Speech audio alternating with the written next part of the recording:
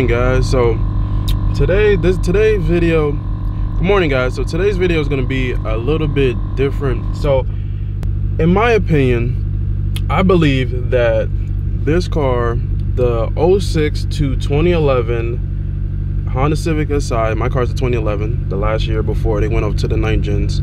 So this is the 8 gen honda civic si and why i believe in my opinion five reasons why this car will be one of the the best JDM cars later down the road and the reason why. So I'm gonna make a video about that. I know I've been seeing recent videos where they added like the S2000 is um, one of the best um, JDM cars, of course RX-7, NSX, all the rest of those 90s cars, but this car is definitely a JDM car that you have to love and respect at the same time especially the motor. The motor a lot of people have been running um, k-series engines. So this is a k20 and a lot of people have been doing swaps in them. I've seen an mr2 k20 i've seen um, a lot of these k-series and older um, like eks and different um, older hondas integras and the k-series is basically taking over. So definitely this car is like an icon for the motor. The transmission may suck. The transmission is like glass when it comes to especially boosting your car and with the stock transmission, it's like glass, but the motor take, you could do 10 pulls in this motor, bang the gears, beat the hell out of the K20 series and the car, the engine will still hold up. The, the engine will take it. So this motor in the K series is a strong, definitely a strong motor overall, but definitely, definitely, definitely, definitely. I would say the motor is what makes this car to me. The motor is what really makes this car and makes this car shine, especially compared to the 8 gens. So the 8 gens, you, we rev all the way to 8K. The rev limiter stops at 8K. Mine's set at 85K. But in VTEC, and this car's tuned, so VTEC kicks in around 42 and it keeps going all the way, all the way, all the way, 4, 5, 6, 7, 8, 85. And it just keeps going. So one thing a lot of people like about the K series, especially this car, and compared to 9 gens and 10 gens, where it stops at like 65, 7 grand, I believe. Now it stops there. One thing about this car that everyone loves is the long, it revs all the way to 8K. Like all of the past uh, uh, old old cars that's like an icon, like the S2000 can rev to 85, 9K. Um, I believe the NSX can has a um, long range of revving, but high revving motors for Honda is definitely the key. A lot of the new ones like the 9 gens, 10, 10 gens, they stop around 7, 8, and you really don't get that fun factor where you're at 42 in the car, you're like, okay, boom, and the car just keeps pulling. You're at seven grand. You're like, oh, dang, I still got one. I still got all the way to eight grand, 85K, and the car just keeps pulling. Even at 8K with the cartoon, you feel something else kicking, and the car just keeps flying, flying, flying. You're just in one gear. You're not even in the next gear yet. And you're like, oh my God, this car just keeps flying, flying, flying, flying, flying.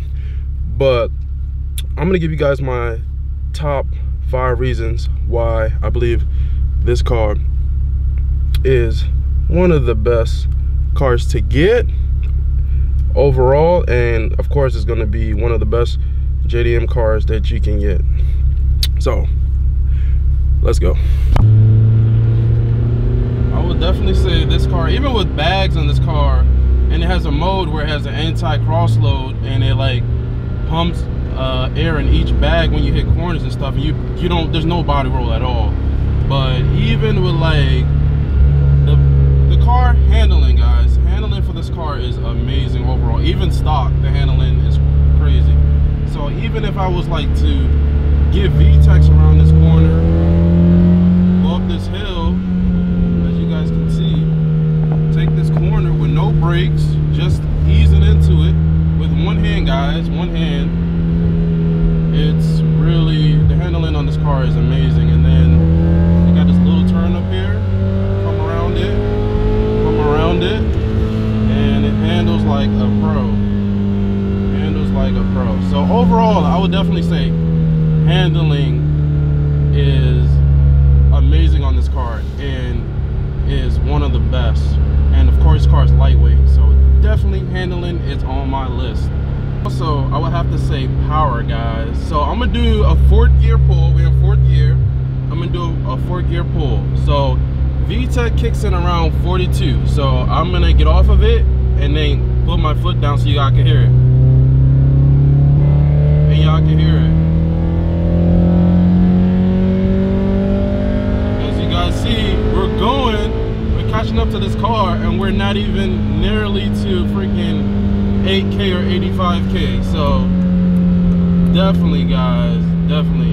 And we're only in one gear so imagine us just like flooring it and with VTEC and going all the way to 85k and then shifting and then going all the way back to 85k this the it's amazing. And the car just keeps flying flying flying flying and pulling.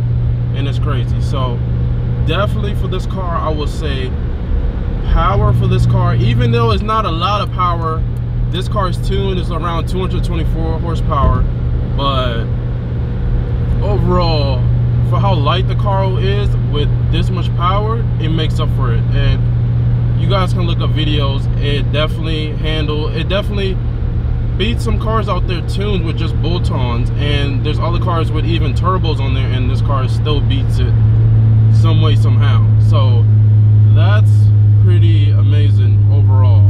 So definitely would have to say power for this car is amazing. VTEC all day, every day. Gotta love it. So I talked about power, handling. Number three, I would definitely have to say about this car is re reliability. The reliability of this car is amazing. So one thing that's, of course, Hondas are known for is good gas mileage yes the SIs do take 93 but the gas depending on the gas prices it takes about depending maybe 20 30 40 dollars at the most depending on the gas prices but that's still not bad. I before i had this car i had an automatic and it's about the same price for uh 93 and 87 so this car does take premium. It's really good on gas um, usually this car, depending on where I drive to after work, the gas can last me up to two weeks. Um, two weeks or at least a week at most. So it's really good on gas. Even if you go to different places uh, on your break for lunch and stuff, is really good on gas. Also, this year, this car has been really uh, reliable to me. I went up to, I believe, New Jersey this year twice on bags. On bags. I went to New Jersey twice. I went to uh, uh, Pennsylvania. I went to Philly uh, once this year also. So this car has definitely been uh, driven this year. This car has been driven really hard this year and long distance. So definitely I would have to say that this car is definitely, the reliability of this car is amazing. And it's been doing what it's supposed to do and have good gas mileage. So gotta love the thing about Hondas is reliability. And it's freaking amazing. This engine with VTEC is amazing. Reliability, get on the car, drive long distance, and the car gets you to point A and B with no problem. You have to love that. You gotta love that about this car. And number four, the fourth thing that I will say about this car is the parts and stuff for this car is um, easy to fix. So I would say this car is easy to fix, easy to work on. For Hondas in general, they're easy to fix, easy to work on. Definitely. Um, oil changes for this car is about only 36 38 dollars for this car i think you need like what i believe i had like five quarts and a filter and it was only like 36 38 dollars. So really cheap to change keep keep up with maintenance with the oil. Um of course the tires are pretty small. It's not like 230s 305s so you got to pay expensive tires. So the the tires on this car is pretty small. It's like 215s by 40 uh 45 by 17 so stuff parts for this car is pretty cheap. Um what else? Let's take a look at this car let me share share with you guys. So definitely i would say parts for this car and if you if any issues or anything come up with this car it's pretty cheap. It's not an expensive car. It's not like a bmw or a dodge or a little or Acura. This the parts for this car is pretty cheap to change and it's not bad. I believe the rotors were not the rotors the the pads were like only a little like a hundred bucks or a little under a hundred bucks so that was pretty cheap.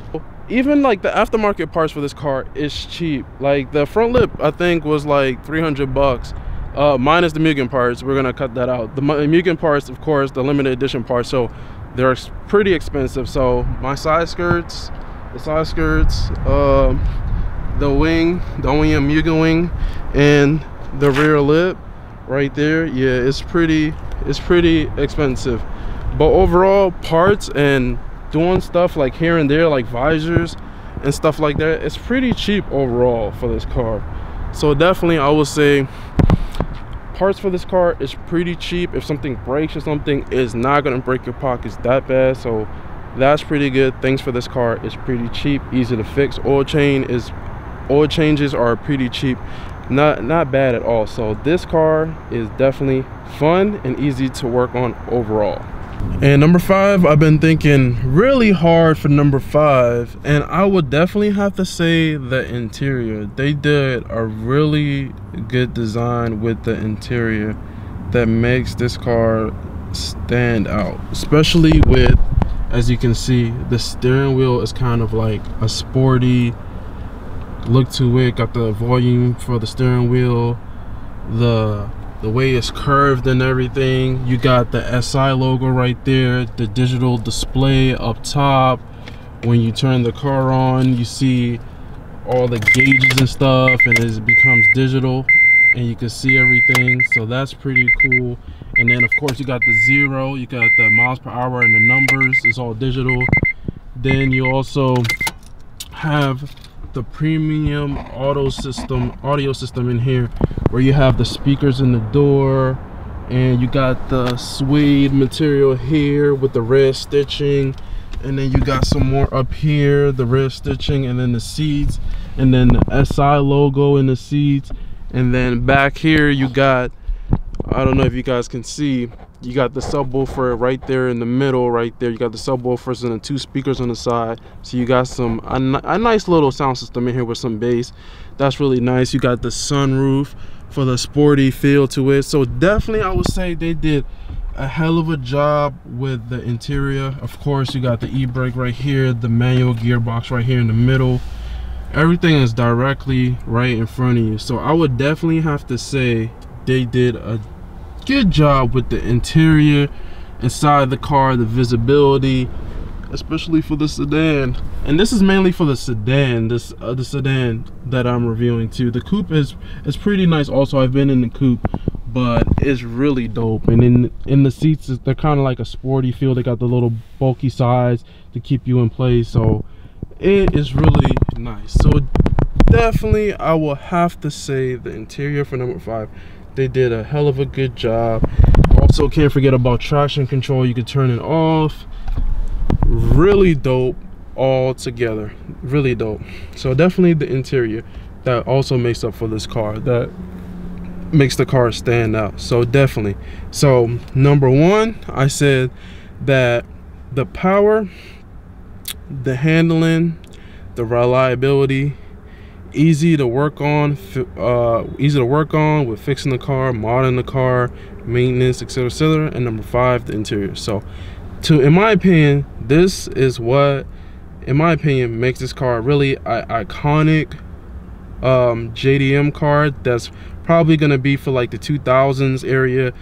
Is really this is really a neat car that they came up with especially of course i did a bunch of stuff to my car and it's really modded but it's really an iconic car. And in 2008 they actually made it made a, limited edition version of this car. In 2008 2008 they made a honda civic mugen si limited edition. So they made a thousand of these um, limited edition SIs all around the US. So only a thousand was made. So that's really iconic. And the company that did it was Mugen Power. They're, they're located in Japan. So it was that that that in itself is really special. Of course, if you make a limited edition version of the car, definitely special and it's pretty neat it's pretty neat even i have some of the parts that you guys have seen and i'm to share the car with you guys so the mugen uh, comes with these side skirts this four-piece wing one two sides and the one in the middle and then you got this rear lip that makes the car look even lower in the back. So definitely have to say this car altogether they did a really good job of this car. And for being a small compact car it looks pretty amazing altogether. The car's aired out right now. Car's on bag. So overall the car looks pretty sick overall. So definitely i would say that's why this car in my opinion is definitely one of the iconic cars from like the 2006 to through 2011 this car is definitely iconic so definitely guys. That's my opinion on this car and the top five top five things about this car. In my opinion that's really uh, that make this car stand out is really a good JDM car. And that's it. So if you guys like this video and can also agree and give me your feedback on what some other things that you guys want to uh, touch on that you guys think really stands out about this car or this car in general put it down in the description. And if you guys like this video definitely smash the like button. And also if you're new to the channel subscribe to the channel for more content every day. Every single day i'm going to be dropping new videos at 12 p.m eastern time. So definitely check out the videos every single day at 12 p.m eastern time. It's going to be amazing. And more mods for this car is going to be on the way. And next year is going to be wild and crazy. So i cannot wait. I believe we're at like 169 subscribers left until we hit 1k and we give do the giveaway which will be the GoPro Hero 5 so definitely I cannot wait. I'm excited to finally to give something back to you guys. And then 2k we're gonna do a two giveaway for two two giveaways for 2k so I cannot wait. So I'll see you guys tomorrow with another video. Peace and thank you for watching. And if there's anything that you guys want to achieve or whatever goal that you have that you want to achieve find your inner drive the thing that makes you wake up every single day. Find your inner drive and go after it every single day. Peace